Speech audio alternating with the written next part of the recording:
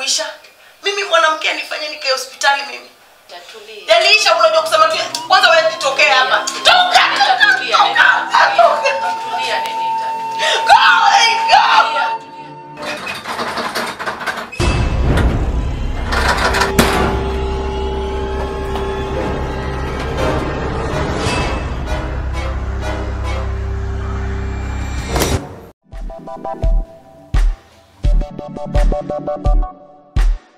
toka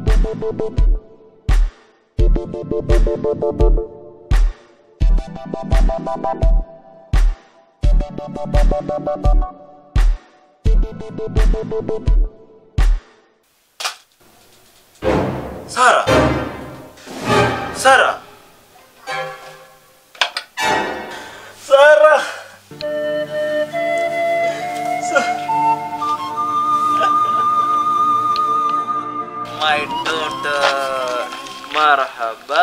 Marhaba mwanangu za masiku.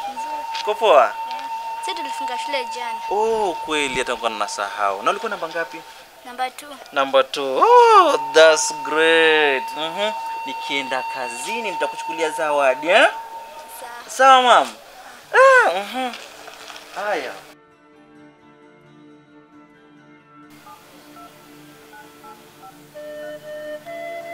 hapo ni kwenye kituo cha polisi napiga kuripoti kuna kisa cha mauaji kimetokea hapa rockview apartment mlango kumi na saba Eh, kuna msichana ameuliwa hapa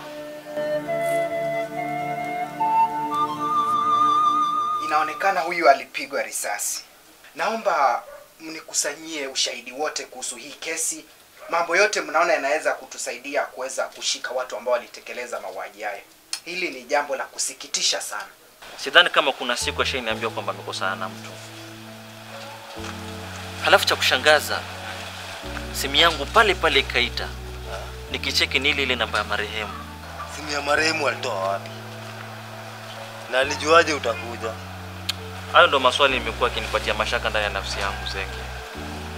Najaribu kuchora hivi unavyoniona hapa hivi, niko mwili tu, akili haiko tu. Naoni binadamu wanakujua nje na ndani. Stika umeripoti kwa makarao. Si unajua yule alikuwa na hawara tu. Hivi unafikiri mimi nikipeleka hii kesi kwa makarao, mikono yangu itakuwa salama? Swala ambalo nafaa kunishauri Zenge ni kwamba tuanze kuchunguza nani anayehusika na kifo cha marehemu.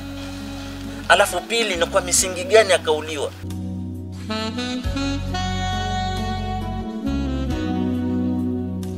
Mambo yamekuwa magumu sana hapa. ni nini sasa unaniambia story mob hapa Nakwambia mambo yameharibika na tunafaa tukae makini sana. lakini bwana afisa eh? si nilikulipa pesa zote na ukanihakikisha kuwa kila kitu kitakuwa sawa what the hell is wrong with you Madam, usiwe na haraka ya kukata tamaa. Unajua kila jambo mwanadamu hufanya kuna kufaulu na kutokufaulu.